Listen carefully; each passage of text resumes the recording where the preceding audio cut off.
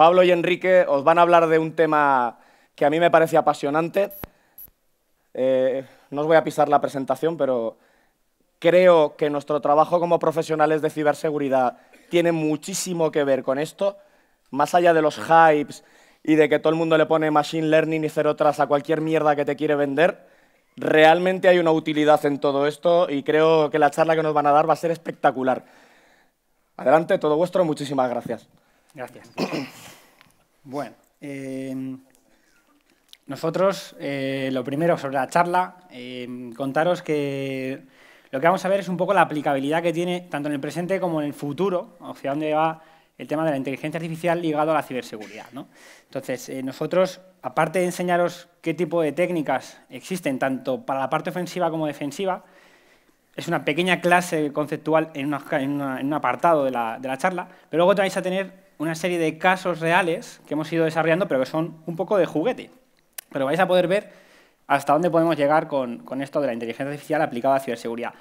Es verdad que hemos estado viendo que en el propio sector nos da un poco de miedo eso de es que, que introduzcan la inteligencia artificial aquí igual nos quita trabajo. Bueno, no, o sea, al final esto es un, mercado en el que hay una transformación y hay unos requisitos.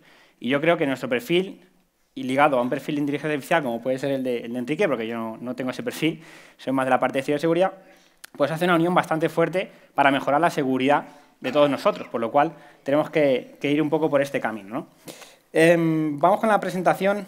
Eh, bueno, yo soy Pablo González, Em, trabajo en Telefónica desde hace seis años, ya, sí, hace seis routers, fue prácticamente cuando se hizo el anuncio, pues seis años, sí.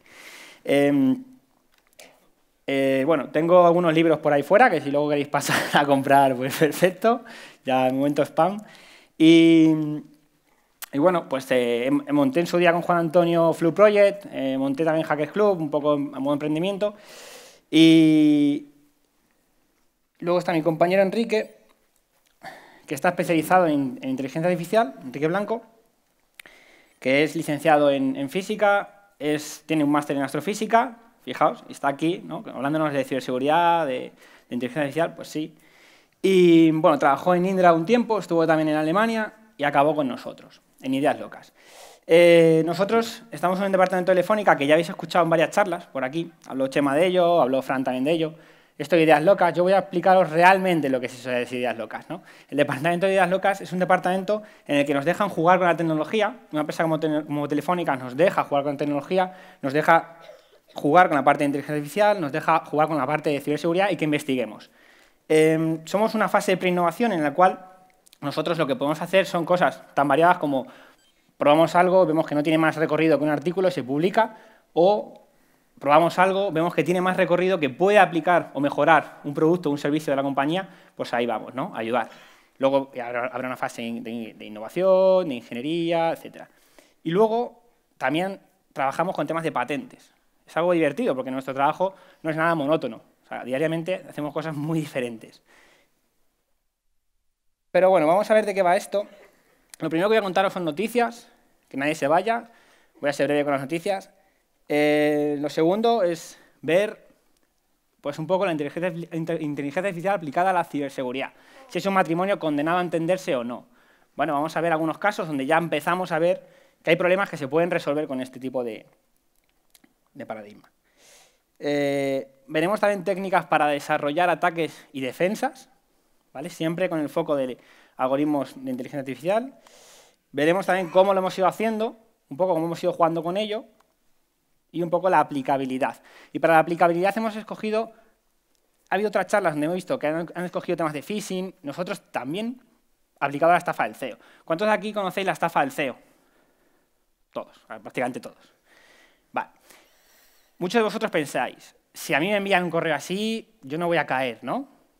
Lo pensamos porque implícitamente lo, vamos, lo pensamos interiormente.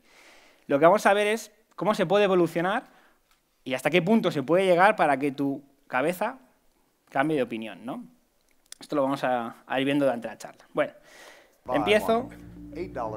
Todos habéis visto este vídeo de Obama, o la mayoría. ¿Vale? Parece real, pero no lo es. ¿Vale? Hicieron un modelo con redes neuronales en el que mapeaban el sonido a la boca y la boca realmente no era la de Obama, pero había una inteligencia artificial que había aprendido a generar el movimiento de la boca y estaba mapeado, o lo habían mapeado a un audio. Entonces se podía decir lo que quisiera y era el presidente de los Estados Unidos. ¿no? Y lo decía. Con 14 horas de vídeo se había entrenado al, al algoritmo. Bien. Luego tenemos el, el vídeo de Jennifer Lawrence. ¿Esto suena?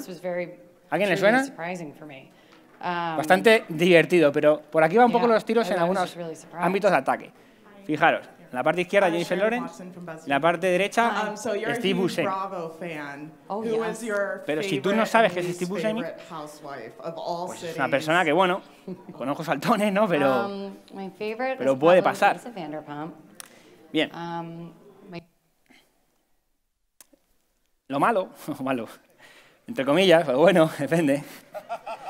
Eh, es que estas técnicas de face swapping se han llevado también al porno, ¿no? Entonces de repente te dicen, pues la actriz no sé quién, eh, en un vídeo erótico, ¿no? Y ahí cortamos el vídeo porque, bueno, el que quiera lo puede, lo puede terminar de encontrar, ¿no? Ahí tenéis el, dominio.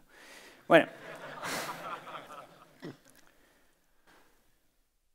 Y entonces nosotros nos preguntamos, ¿importa una fake news? Y al final, una fake news también está muy relacionado con lo que, vamos a ver, porque en el momento que las máquinas empiecen a generar, ya, ya existen eh, pruebas, de, bueno, pruebas, casos reales, en las que máquinas pueden generar estas noticias, pues existe un problema. Y existe un problema porque al final nosotros tendemos a creernos lo que, lo que vemos, lo que leemos, tendemos a creernos. ¿no?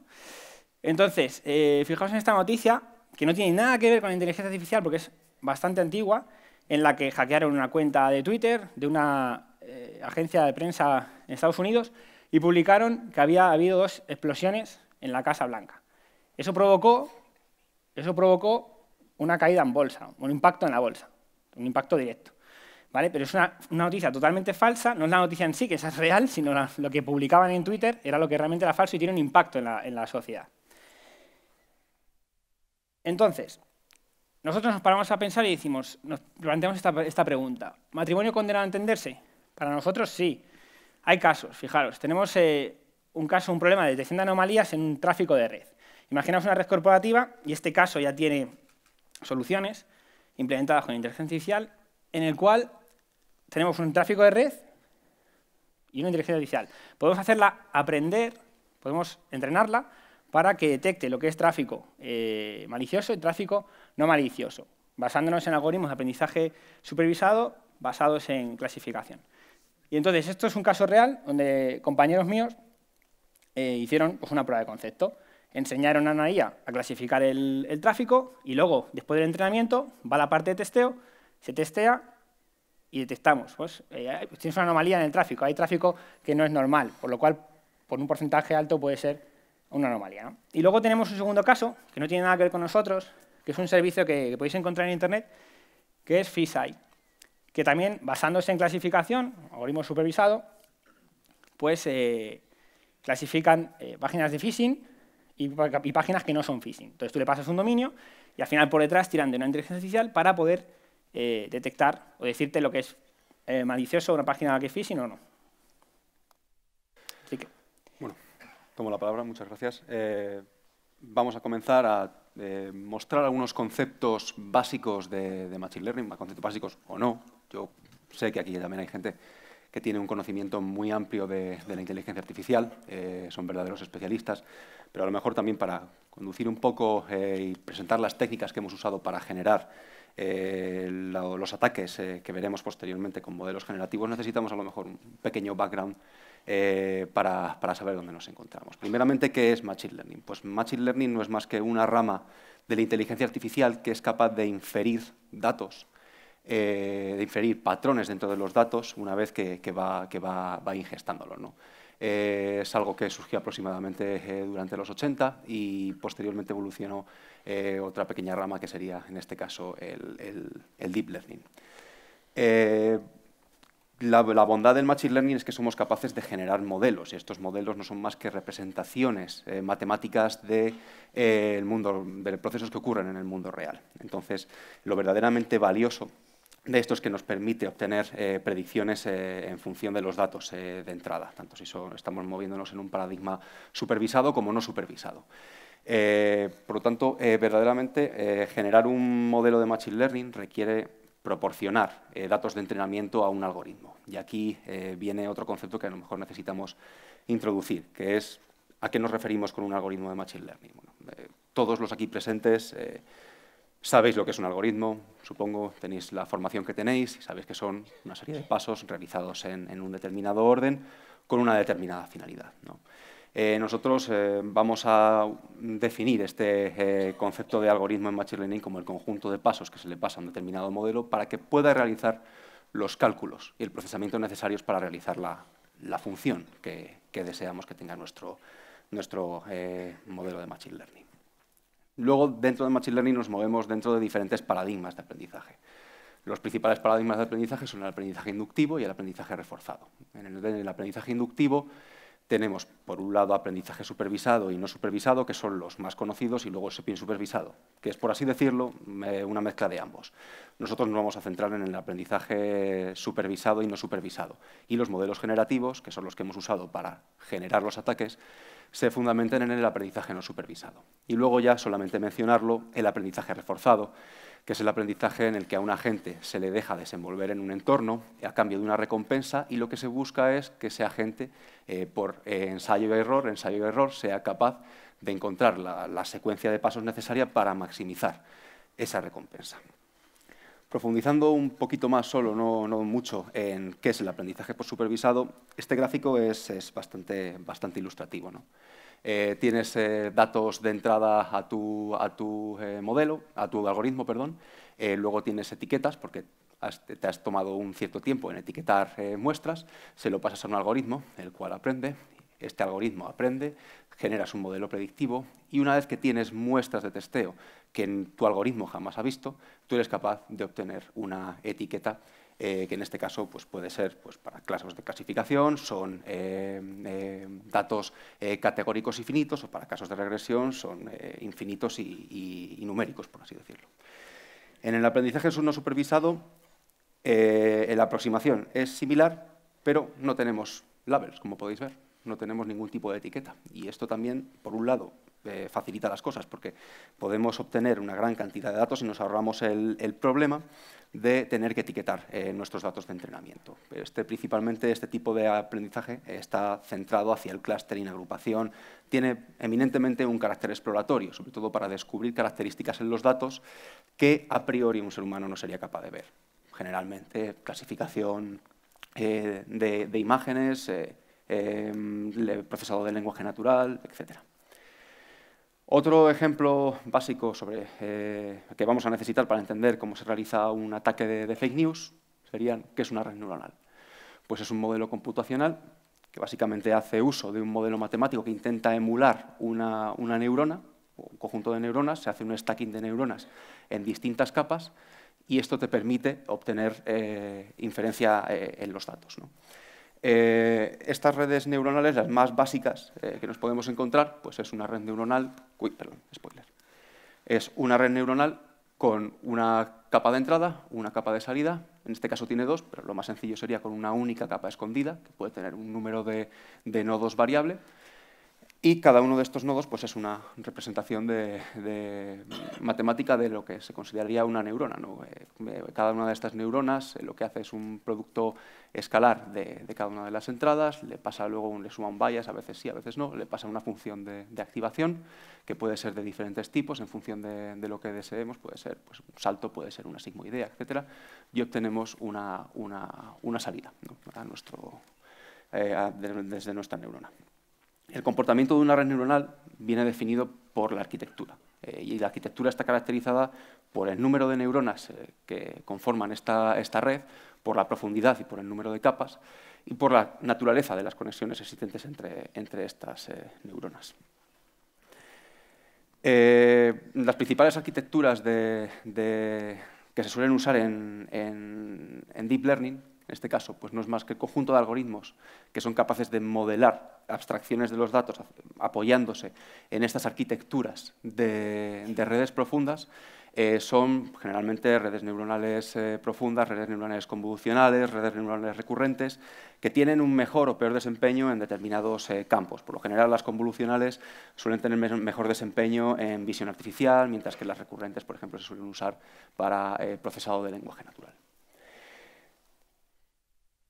Aquí, por ejemplo, podemos ver eh, una eh, red neuronal convolucional. Eh, este es el típico ejemplo que se pone para, mostrar una, una, red profunda dedicada a clasificación en aprendizaje supervisado. Si nosotros somos capaces de tener un conjunto de datos, un conjunto de imágenes de coches, camiones, eh, aviones, etcétera, etiquetados, si lo pasamos a una red eh, convolucional, eh, somos capaces de, después de entrenarlo, inferir si la imagen que le estamos pasando es la de un coche, la de un camión, etcétera. Aquí nos estaríamos moviendo dentro de un aprendizaje supervisado, aunque este tipo de arquitecturas también son muy útiles para aprendizaje no supervisado.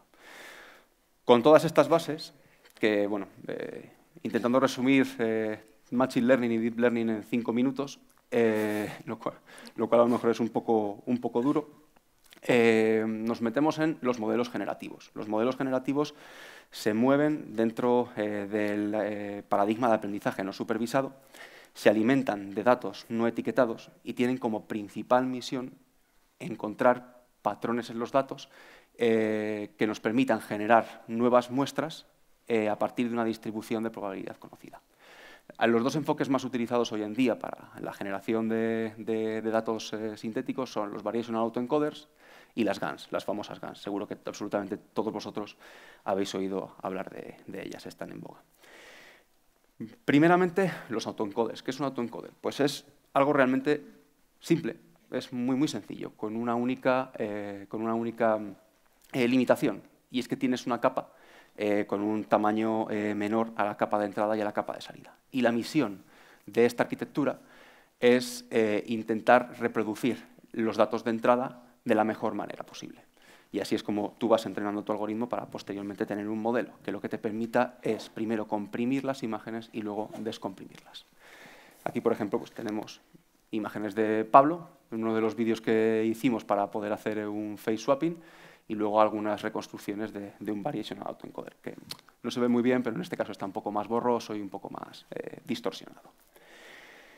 Primeramente nos encontramos con una parte que lo que hace es eh, codifica la información eh, que de entrada y pues normalmente este tipo de, si estamos trabajando con imágenes, necesitamos redes convolucionales con función de activación ReLU para poder obtener una distribución, un espacio latente, se suele llamar a esta, a esta capa Z o un vector base, eh, para poder eh, reducir eh, las características de, las imágenes. Entonces, ¿realmente por qué queremos reducir estas características? Pues principalmente para poder capturar variaciones significativas en esa distribución de probabilidad que nosotros no podríamos ver a priori. Luego viene la parte del decoder, que sería la parte superior. Y es una vez que tenemos este vector latente, nosotros lo que queremos es propagar hacia arriba y reconstruir nuestra imagen. Las características del decoder son muy simples. Por lo general tienen la misma arquitectura, pero invertida que la del encoder. Así que simplemente tenemos que invertir nuestra arquitectura. Mm, pongamos que ya tenemos entrenado nuestro modelo. Ya tenemos entrenado una arquitectura de autoencoder que nos permite, pues eso mismo, eh, generar eh, imágenes, reproducir imágenes de entrada. Pues en este caso, eh, lo que, si quisiéramos generar nuevas imágenes mm, a partir de nuestro espacio Z, de nuestro vector latente, simplemente tendríamos que hacer un muestreo, por ejemplo, haciendo uso de una distribución normal, propagar hacia arriba, y obtendríamos caras de Pablo que jamás habríamos observado en este caso. Y esto es lo que se denomina como variational autoencoder, hablando, tratándolo muy, muy, muy por encima. Luego también, eh, intentando resumir muy rápido lo que es una GAN en un par de diapositivas, una GAN es un conjunto de, dos eh, redes neuronales que están compitiendo en un juego de suma cero, en el que tenemos dos jugadores, un discriminador y un generador. El generador eh, se puede asimilar a una parte de decoder de un variational autoencoder, que lo que hace es, a partir de un ruido aleatorio, te genera una imagen falsa. El discriminador lo que hace es que tiene una, es un clasificador, principalmente te da un 0 o un 1, 0 si sería fake Pablo, 1 si fuera real Pablo, y lo que coge es que imágenes eh, reales de Pablo las compara con la imagen eh, obtenida por el, por el generador y te dice, en función de en qué nivel de entrenamiento se encuentre, cómo de eh, preciso es el generador e intentar engañarle. ¿Cómo se entrena una GAN? Pues, como he dicho anteriormente, las GANs generan muestras que se pasan al discriminador, es decir, el generador intenta engañar al discriminador, el discriminador estima la probabilidad de que esa imagen sea falsa o sea verdadera, y lo que generalmente se suele usar, eh, se suele entrenar este tipo de arquitecturas, es eh, desenmascarar al generador maximizando la probabilidad de que el discriminador se equivoque. Y en este caso eh, lo que se hace también es que el discriminador le dice al generador lo cerca que se ha quedado de engañarle, también para conducir un poco el entrenamiento y para acelerar eh, eh, los tiempos de, entrenamiento de este, este tipo de, algoritmos, que son bastante extensos. Como he dicho, como acabo de decir, es uno de los principales riesgos, que tardas muchísimo tiempo en entrenar este tipo de, algoritmos con un equipo normal. Luego, por otro lado, también además el modelo puede no converger. Es muy difícil elegir una arquitectura idónea, además de que también es muy difícil elegir los hiperparámetros eh, correctos. Por lo tanto, debes elegir sabiamente. Jugar con los hiperparámetros a veces en redes neuronales puede resultar bastante complejo y puede resultar tedioso. También puede ocurrir que el generador se quede estancado eh, y que no genere muestras variadas. Eso más o menos se corrige, bueno, hay muchísimas técnicas matemáticas tremendamente complejas, eh, o también se puede intentar corregir eh, mediante la técnica de que el discriminador sea capaz de decirle al generador cómo de cerca se ha quedado de engañarle. Y también cabe la posibilidad de que el discriminador se haga muy bueno demasiado rápido, y eso condene al aprendizaje del generador. Bueno, aquí le cedo la palabra Pablo.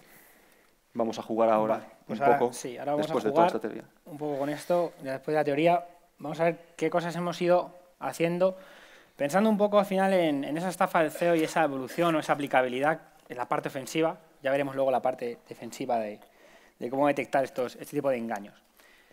Eh, hemos utilizado un equipo, como veis ahí, con características que cualquiera pues, al final puede tener al alcance. ¿no? El día y además, el día de mañana, o hoy mismo, podemos utilizar también eh, el cloud, Amazon, Google, Microsoft.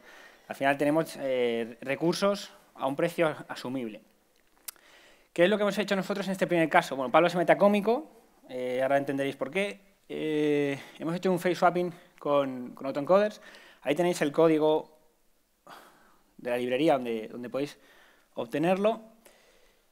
Y vamos a, vamos a ponerlo. No me merezco menos. No me merezco menos. Voy a vengo a hablar del invento ¿Reconocéis? de los últimos dos, tres años, esta estupidez que se acaba de inventar, que son los límites del humor. Vamos a ver. Yo nací en el 81. A finales de los 80, a principios de los 90, no había límites en el humor. No lo sabía en España. Se hacían chistes de ETA, se hacían chistes de Felipe González, de los GAL, se hacían chistes de la familia real. Es más, se hacían chistes de toda la familia real.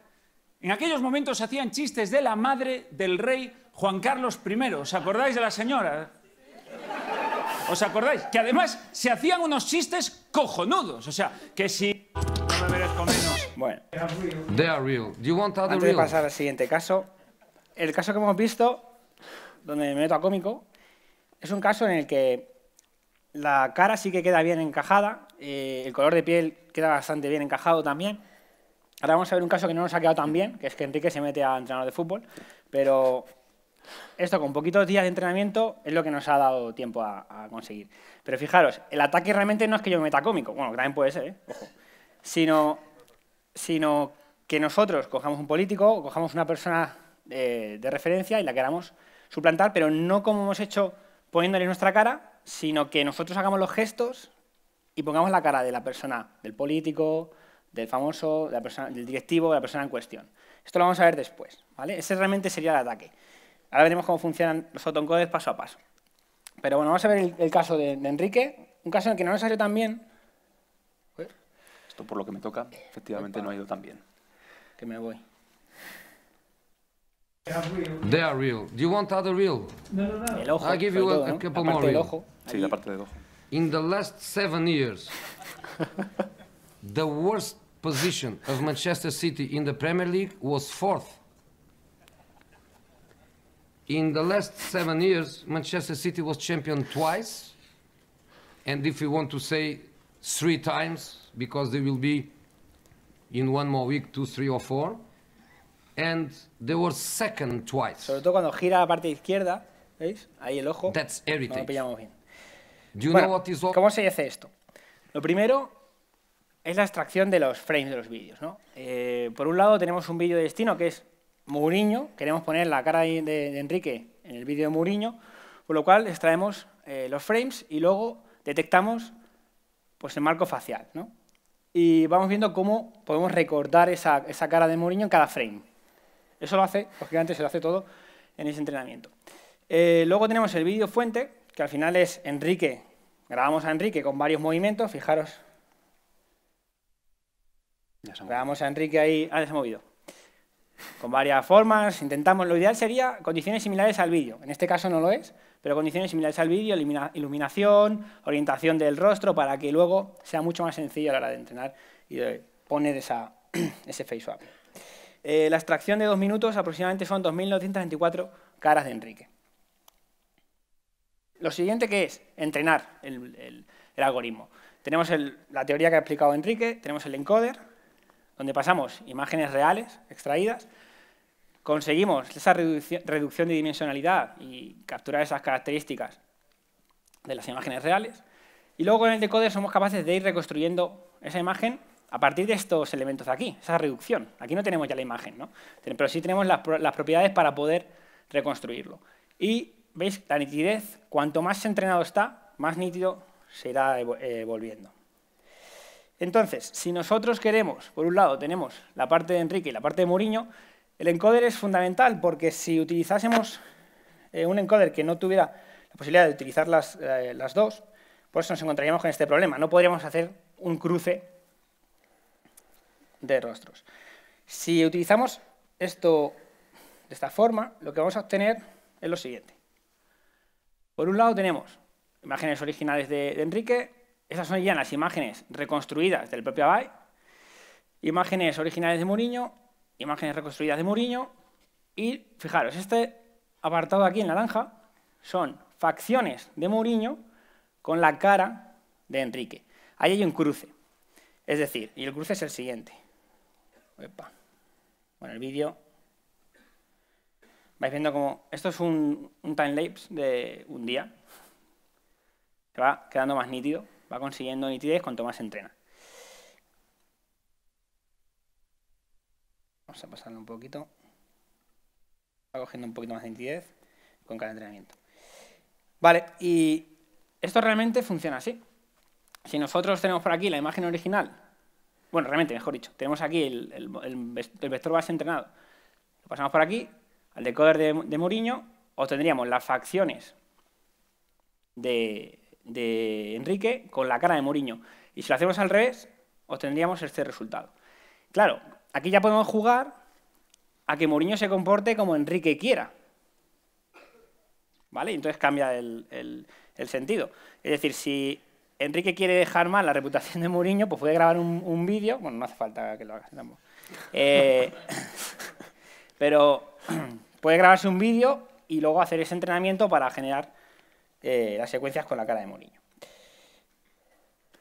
Bueno, ahora, eh, como ha dicho Pablo, el verdadero problema, el verdadero peligro est- est- estaría en si yo me, me grabo haciendo una determinada barbaridad y le pongo la cara de una persona a la que quiero denostar, eh, ahí, estaría el, verdadero ataque. ¿no? En este caso, bueno, tenemos, hemos trabajado un poco con autoencoders, también queríamos investigar un poco cómo podíamos eh, eh, trabajar con las GANs. Y aquí esto también nos, servía para conducir un poco la, estafa del CEO. Queríamos hacer uso de este tipo de modelo generativo para que, poniéndote delante de, de una webcam, se generara el rostro de una persona a la que quería suplantar para que hiciera lo que tú quisieras. En este caso nos encontramos con un repositorio que está muy bien, que se llama Face-to-Face Demo, que hace uso, eh, está en Python, hace uso de TensorFlow, de OpenCV, de Delib, y también de esta librería que es muy interesante de Pix2Pix eh, en TensorFlow, eh, que lo que te permite es eso, cogiendo un vídeo de origen de una persona a la que quieres suplantar, extraer todos los frames, entrenar una GAN, y una vez que tú tienes entrenado, entrenada tu GAN, ponerte delante de una cámara y testeando generar imágenes falsas. ¿no? Por supuesto, cogimos a, nuestro eh, CDO, a Chema Alonso, cogimos un vídeo de YouTube en el que eh, tuviera un fondo blanco, porque también vimos que con pruebas con fondos coloridos eh, teníamos muchísimos problemas y los tiempos de entrenamiento se alargaban. Y también este es un vídeo perfecto, porque Chema prácticamente no se mueve, es el mismo plano todo el rato, apenas gira la cara, y es muy fácil extraer todos los facial landmarks de, de, la cara de Chema. ¿no?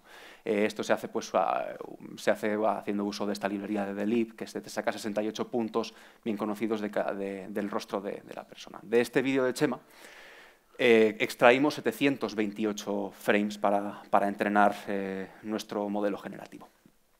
Entonces, Procedimos a entrenar el modelo, muy sencillo eh, construirse el entorno, la verdad es que está muy bien explicado y eh, estuvimos entrenando nuestro modelo durante aproximadamente tres días. Una vez que ya teníamos entrenada eh, la GAN, que veíamos que ya no, no mejoraba la generación de imágenes, procedimos a testear el modelo. Lo primero que hicimos pues, fue eh, el gran tamaño de, las redes convolucionales que teníamos, pues era aproximadamente un giga cada, cada fichero que te generaba TensorFlow. Lo que teníamos que hacer era una reducción del modelo entrenado para que la webcam, para que una vez que tú tuvieras ya, estuvieras delante de la webcam, eh, te captara la imagen, sacara el facial landmark y eso se pasara al generador, ¿no? y pudiéramos usar la imagen como un tensor de input. Eh, ¿Por qué reducimos este modelo? Pues efectivamente, porque no, queremos eh, múltiples ficheros y no necesitamos los metadatos que te da TensorFlow cada vez que te hace un checkpoint. Simplemente queremos los pesos de nuestra arquitectura y con eso podemos eh, comenzar a testear. Y aquí vamos a hacer una demo rápida para que veáis cómo funciona, para que veáis lo, lo curioso que resulta. Esto. Muy, muy rápido. ¿Dónde está el cacharro? ¿El HDMI? Aquí, aquí. listo.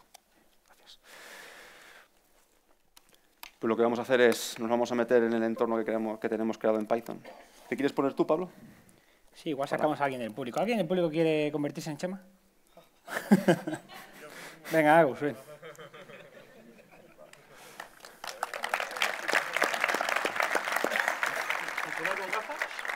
Pues nunca hemos probado con gafas, pero vamos. Eh, quítatelas. bueno, primero, primero testeamos nosotros si quieres, para que la gente... Tarda un poquito en... Adelante. Lo que nunca lo hemos eh, probado está en oscuro, ¿no? A oscuras. Ahí Es muy importante colocarse a una distancia similar a la, de, a la que se encuentra Chema en el vídeo original. Y la oscuridad un poquito más hacia arriba y sube la cara. Ahí, mm. más o menos. Y lo bueno es que esto te copia las facciones eh, sí, sí, con, bastante precisión. No es perfecto, como veis hay una cierta... Ah. Para que no, haya trampa ni cartón. Efectivamente. Y esto vale para cualquier persona que se ponga delante de una, de una webcam.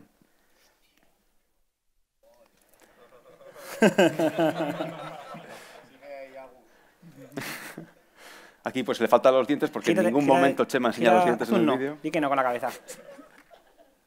Di que sí. Di que nos paguen más. Nos paguen más. Pagarles más. Paga más. Di, que sí. ¿Pagar más? vale. Muchas gracias. Muchas gracias.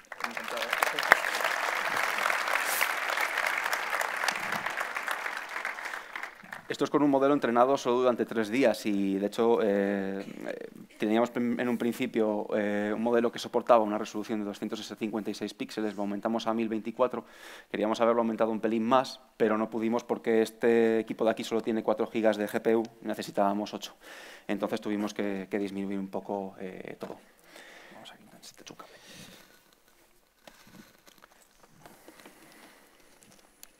El audio está aquí. El audio está ahí. Oh, bueno, bueno. Mute. A sufrir un poco ahora. Ah. No, ahí. Aquí. Listo. Hacemos el- lo de la Fórmula 1 aquí cambiando ordenadores, ¿eh? bueno.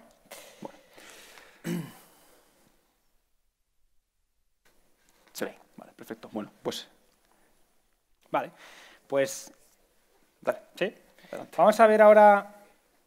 Claro, cuando hemos visto a Agus ahí convertirse en Chema, había un problema y era la voz. ¿No?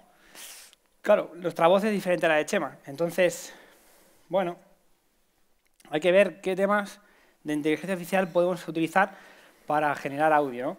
Entonces, ¿reconocéis esta voz? A ver. Uy. No, no sale, no sale audio. No. and I'm very busy. A ver, a ver. Are you available to handle an international payment of $15,000 this morning? Please find a way around it. I'm currently in Las Vegas and I'm very busy. Use this IBAN number for the account where the money has to be sent. Take note of it. ES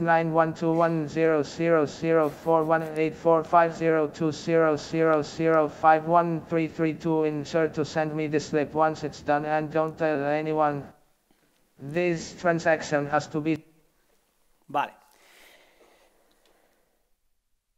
La estafa del CEO se nos convierte en la estafa del CDO, porque nosotros lo que queremos es que el- tanto la imagen como el audio sea concuerde. ¿no?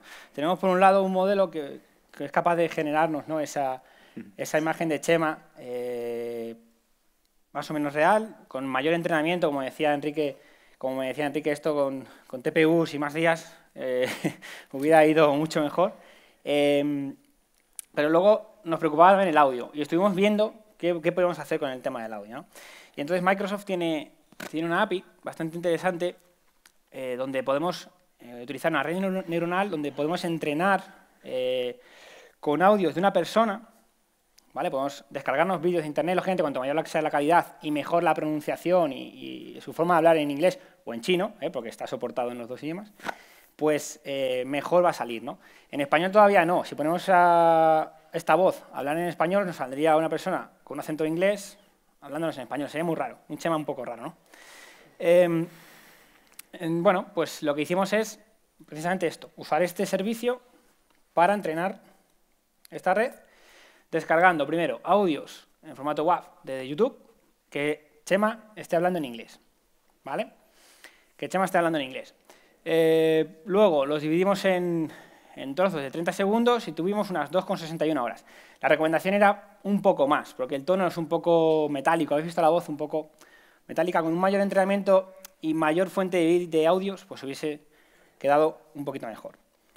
Em, también tenemos que transcribir lo que Chema estaba contando en el vídeo, en inglés, a texto. Para eso utilizamos Google Cloud. Hay un servicio que es Speech to Text que, que nos permitía hacer esto de forma eh, rápida. Y luego subíamos las transcripciones y los audios a este servicio. Empezamos a entrenar y ocho horas después teníamos un modelo satisfactorio. Y entonces dijimos, bueno, es verdad que todavía la inteligencia artificial quizá necesite de todos nosotros para eh, apuntillar esos ataques. Entonces utilizamos a... Por aquí está Lucas, saluda Lucas, levanta la mano. Pues Lucas nos ayudó, Lucas también trabaja en, Ideas Locas y nos ayudó eh, con la parte de audio. ¿no? Dijo, vamos a hacerlo un poquito más eh, real. Porque, bueno, es importante ver, bueno, aparte de la voz, el tono, el timbre, el vibrato. Y entonces añadimos un filtro telefónico, él añadió ruido y vais a ver una serie de, de resultados.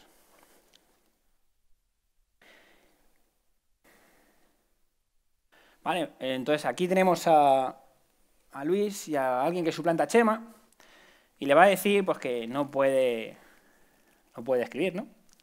Y que le, le va a llamar. Alguien que suplanta a Chema, ¿no? O sea, no, lógicamente no es Chema. ¿Está disponible Luis? Bueno, Luis contestará. Y le dice que sí, ¿no? Bueno, pues ahí va la llamada.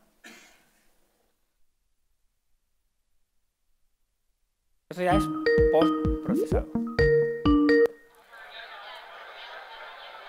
Hi Luis, um, are you available um, to handle an international payment of $15,000 this morning?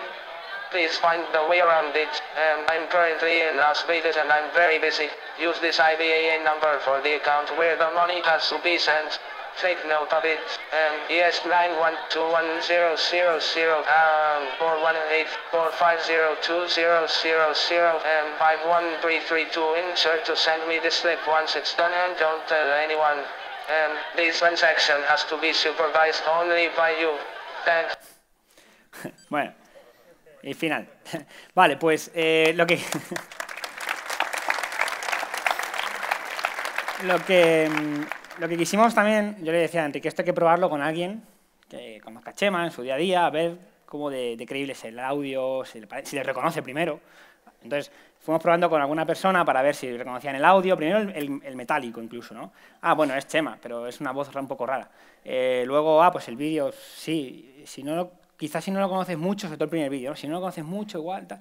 Bueno, pero entonces empezábamos a ver que la gente sí podía caer, ¿no? Y tú crees más lo que ves y lo que oyes que incluso lo que vas a leer en un correo, porque estamos concienciando de que el email, el email, el email, y aquí estamos viendo un vídeo que nos parece muy real y un audio que nos parece muy real. Y hay alguien detrás que está suplantando, en este caso, la identidad a través de un Skype.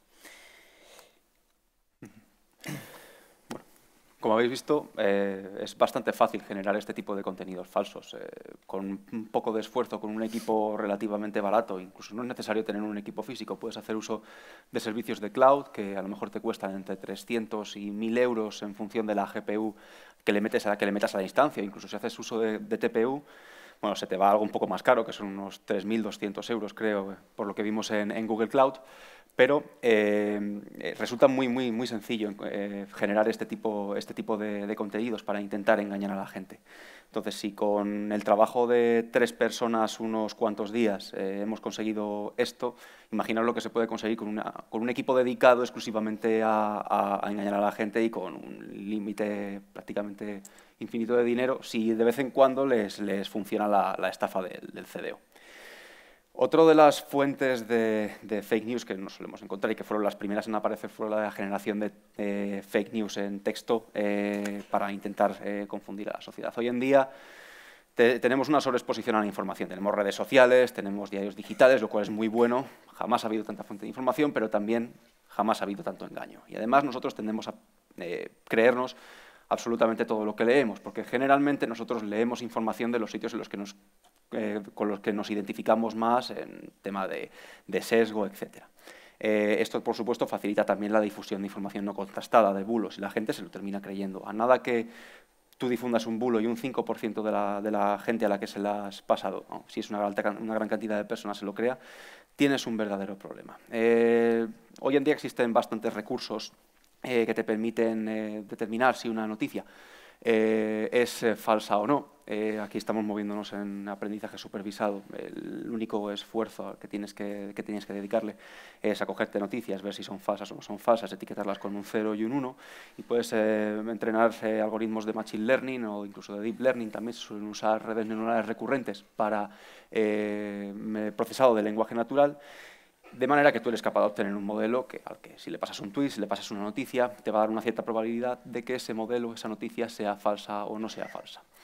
Esto es un tema ya eh, bastante eh, manido y existen una gran cantidad de recursos, existen muchas APIs, existen muchos servicios que te eh, analizan la, veracidad de, las noticias a las, que te, a las que te enfrentas. Por lo tanto, si realmente quieres protegerte, quieres protegerte de, ese contenido, puedes hacer uso de, muchísimas, de, muchísimos servicios. Por ejemplo, nosotros encontramos un par de ellos que, están, que son muy intuitivos, que por llamada API, bueno, una por llamada API y otro haciendo un despliegue de, de de un Docker, eh, podías ver eh, si la noticia a la que te enfrentabas era legítima, si era una fake news, si era clickbait, si estaba extremadamente sesgada o directamente si era algo satírico. ¿no? Eh, por un lado está el Fake News Detector, que tiene un plugin bastante interesante que se llama Robinho. Y por otro lado teníamos eh, un, servicio que está muy bien también, Matchingbox, que es Fakebox, que simplemente tú le pasas la URL de la noticia, él te hace un análisis de contenido de toda esa noticia por web scraping y te lo devuelve, eh, te devuelve una probabilidad de, que, eh, de la categorización de, esa noticia. ¿no? Si alguien quiere echarle un vistazo luego después de la charla, tenemos una pequeña demo preparada para que veáis cómo o con un simple script de web scraping y haciendo llama- llamada a estos dos servicios, eh, puedes eh, sacar los, los, eh, cómo de sesgada está tu noticia.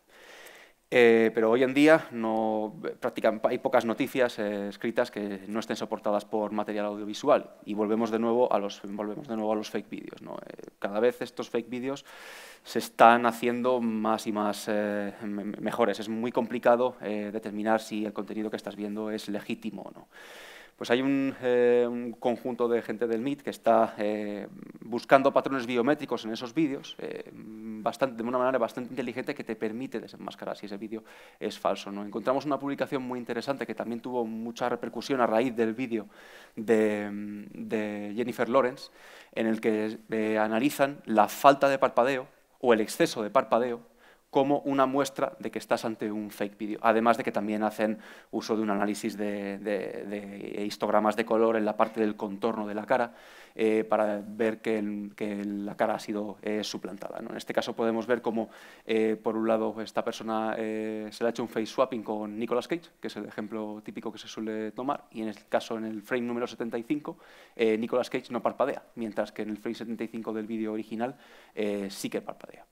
Eh, se hacen uso de redes convolucionales eh, recurrentes para detectar estos vídeos falsos y se calcula la probabilidad de que el ojo esté cerrado o no. En función de eso, contra un dataset que tenían ellos y que desafortunadamente no está disponible, eran capaces de determinar con una altísima precisión si el vídeo era falso o no. Como nosotros no podíamos eh, reproducir esta, esta POC, que nos resultó bastante interesante, tiramos un poco por la calle del medio y decimos, bueno, como tenemos unos mínimos conocimientos de Machine Learning, vamos a intentar construirnos un clasificador haciendo uso de un par de características típicas que podamos eh, sacar de un vídeo cuando, cuando lo testeamos. Eh, que en este caso sería la duración del parpadeo y, eh, la, duración de los parpadeos y la, y la blink rate, o el número de veces que parpadea esa persona durante, durante un tiempo, porque todos esos parámetros biométricos, parece mentira, pero están tabulados, hay un montón de, publicaciones al respecto, donde cogen gente eh, de distintos sexos, distintas condiciones, etcétera, ven en función de la actividad que están realizando qué tipo de, qué, tipo de velocidad de parpadeo eh, tienen y en función de eso pues mm, dicen que más o menos eh, pues si estás leyendo estás parpadeando unas 4 o 5 veces por minuto, mientras que si estás hablando con una persona estás parpadeando alrededor de unas 26 veces por minuto. Incluso hay también diferencias en el parpadeo de- en el género de, de la persona. ¿no? Las mujeres parpadean más cuando están hablando que los hombres, por ejemplo. Eh, pues nosotros lo que hicimos fue intentar buscar esas irregularidades en los parpadeos de los vídeos, eh, centrándonos en eso mismo, en número de parpadeos, velocidad de parpadeo, duración del parpadeo y su desviación típica, y la máxima y la mínima separación entre parpadeos. ¿no? Eh, ahí tenéis uno de los papers donde se recogen todos esos, esos datos sobre las, las tasas de parpadeo, los, los patrones. Pues lo que hicimos fue crearnos un clasificador gaussiano, cogiendo la velocidad del parpadeo y la duración del parpadeo, nos creamos muestras aleatorias con una distribución normal en torno a los valores que consideraban humanos, entre comillas, y contra ese modelo es contra lo que testeamos eh, nuestros vídeos. Y la verdad es que funciona muy bien. Eh, La idea es muy simple, por supuesto, es mejorable. Se pueden coger muchísimas más características, se puede usar otro algoritmo de Machine Learning muchísimo mejor, pero como eh, prueba básica tenemos, por ejemplo, que el vídeo, por ejemplo, en el caso de poner, la cara de Pablo en, en Miguel Lago, eh, tanto los vídeos reales de Miguel Lago como de Pablo estaban etiquetados como vídeos reales con una alta probabilidad de que fueran reales, mientras que eh, ya el face swapping se iba hacia arriba y te lo marcaba como eh, falso. Y lo mismo con Steve Buscemi y Jennifer Lawrence.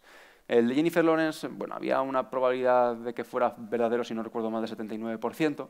El de Steve Buscemi, que cogimos un vídeo de Saturday Night Live, todos los vídeos, por supuesto, con la misma duración, eh, es, eh, lo, cat- lo catalogaba como verdadero, pero ya el face swapping de nuevo se volvía a ir hacia arriba y te decía que obviamente el vídeo de face swapping de Buscemi y de Jennifer Lawrence eh, era, era falso. En este caso, ambos vídeos tenían un exceso de parpadeo con respecto al vídeo original. Parpadeaban más veces que la persona que había sido suplantada. Esto como un, simple ejemplo de, cómo protegernos eh, ante este tipo de, ataques. Pero claro, eh, conforme van pasando los meses, estos modelos van mejorando. Eh, es exponencial cómo va mejorando este tipo de modelos y por lo tanto es complicado, va a resultar complicado protegerse. Y con respecto a las conclusiones. Bueno, vamos comentando. Ya para acabar, nos queda un minuto, ¿no, Román? Sí. Más o menos. Bueno, la primera conclusión es que al final es, empieza a ser difícil diferenciar lo que es real y lo que no. Entonces, ¿cómo podemos protegernos de algo si no sabemos si es real o no? Entonces, eh, lo primero que tenemos que, pensar es, primero, en ver cómo protegernos de lo que es real y de lo que no, porque si no, todas las libertades y todo lo que hemos construido durante toda la, humanidad, pues empieza a ser un poco difícil de, de diferenciar. Como segunda conclusión, pues que engañar a la gente sale muy barato, entre comillas. Porque, eh, digo en este ámbito, eh, ojo, en este ámbito sale muy barato porque nos ha costado nada. Eh, un equipo que todo el mundo puede comprar, con tarjeta de una GPU, un tiempo de entrenamiento, dos, tres días. Si lo... la suscripción a Custom Voice? Sí, luego la suscripción de Custom, de Custom Voice. Y, al final es algo que está al alcance de cualquiera hoy en día y, y puede utilizarlo para algo bueno o para algo malo. Tenemos que ser conscientes de ello. Eh, para nosotros una conclusión es que tanto la IA como la ciberseguridad eh, van a ir de la mano, ¿vale? el presente y el futuro, que los límites de la IA todavía no están ni mucho menos marcados y que la ciberseguridad va a ser fortalecida por ella, pero también va a ser atacada por ella. Va a haber un momento en el que va a haber IAs que ataquen y IAs que defiendan. Entonces, tenemos que estar preparados y ser conscientes de ello y asumirlo. Y luego, bueno, que el conocimiento y la concienciación siguen siendo pilares para esto. Es decir, como ha sido siempre en el mundo de la ciberseguridad, en el mundo de la seguridad informática, la concienciación y, el conocimiento de toda la, empresa, de todas las empresas, de toda la sociedad es, fundamental para, que, para protegernos y aquí va a seguir siendo exactamente lo mismo. Así que si tenéis cualquier cuestión, preguntas.